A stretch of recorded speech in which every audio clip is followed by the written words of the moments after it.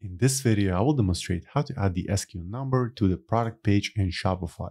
As you can see in my case, the SKU number is located right under the product title. And for the purpose of this example, I'll be using Dawn Theme. So to add the SKU number to Dawn Theme, simply log in Shopify account and then click on the online store. Then look for Dawn Theme and make sure it's updated to the latest version. As of the time I'm recording this video, it's version 9.0 and select customize.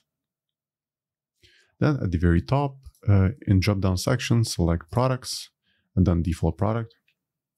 Then on the left under template, click add block and then click SKU.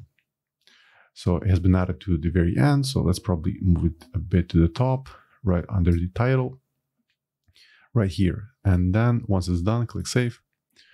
And the SKU number should be added to all products. So let's uh, refresh the page. It's right here. In fact, this product has multiple variants. As you can see, the SKU number changes as I change between the variants.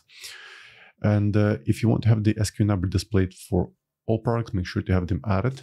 In case one of your products don't have an SKU, uh, it simply will not show anything. So I hope you found this tip useful and for more Shopify tutorials, please subscribe my channel. Thanks.